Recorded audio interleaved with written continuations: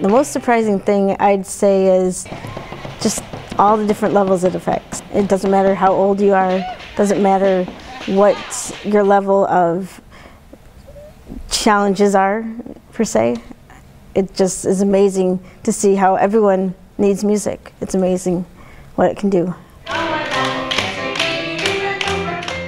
Woods Edge Learning Center is a special education based school that provides service to all nine school districts within Kalamazoo County for students between the ages of 3 and 26 years of age. Music therapy brings the arts to the young people of Woods Edge.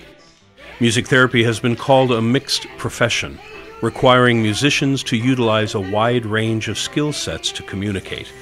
Sometimes entertainer, sometimes healer, sometimes psychologist, and sometimes confidant. Sarah Dawson has said her job is knowing when to play each of these roles. I like to call them my musical moments. I've had many. We even had one today. Julian just, he just gets up and sings.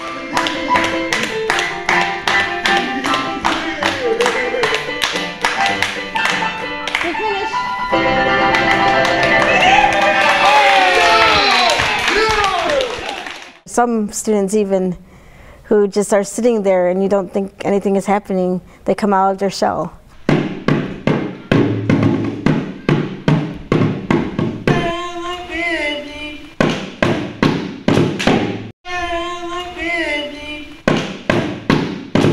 Music is not just an extracurricular activity, it is part of the soul, I think.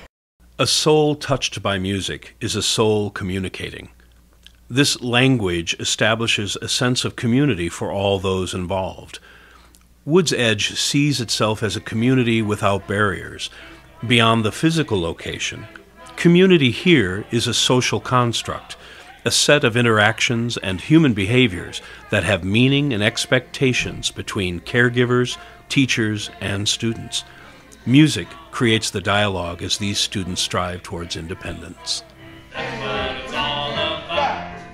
I'm hoping people who get to witness this are able to see that it doesn't matter who you are, music is very important, and that you should let even the most vulnerable experience it. It doesn't matter if they can't hear it, it doesn't matter if they can't see it, they can feel it.